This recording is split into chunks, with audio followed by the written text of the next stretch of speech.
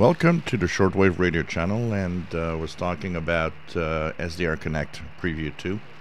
Uh, first, I want to thank the uh, all of those that have mentioned that I can actually right-click the frequency, and it becomes yellow, and I can then enter whatever frequency I want to tune around on the keyboard. Press enter, and we are. So this simplifies the process a lot. So thank you all for mentioning that. Uh, but the uh, thing that I wanted to mention about SDR Connect that they will need to really work on is the um, resources it takes on computers. SDR Uno, when I run it on this PC, takes roughly 10% CPU. And it is pretty slim, and I can do other things.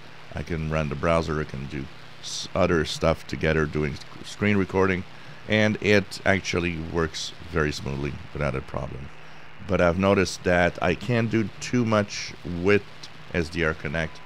Um, when I look at my task manager it definitely takes a lot more um, power or resources on the PC and I think if there is something that they will have to check if they can tweak more is definitely the uh, SDR Connect process. Uh, here you see it at 26. It sometimes goes high as 30, 35.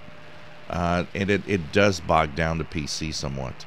So um, this is something to check out. I think they need to maybe work a little bit more on the efficiency of SDR Connect software uh, for that to work uh, a little better because I've noticed that when I turn on or when I use other software and do other things, uh, it does bog it down just slightly. Uh, it's not major, but it's enough that I think if you wish, and you know, if you wish to use this also in a uh, environment where that could be a, a, mobile thing, you know, a tablet, for example, or a laptop. Well, the fact that it uses more power, your laptop's battery is not going to last as long. So, for the mobile aspect of using an SDR, uh, it's not as good. So, hopefully they can fix that. Um, this is at least for Windows, uh, but that would be really, really nice if they could just tweak it to make it less of a, uh, a system hog than it is now, because this is roughly three times more resource and CPU usage than uh, SDR Uno right now. So uh, my two cents worth. But for the rest, um, I'm for now I'm sticking with it. Kind of like it, and uh, it's it's really uh, interesting to use. It makes you know it's it's like when we um, when when we uh, paint.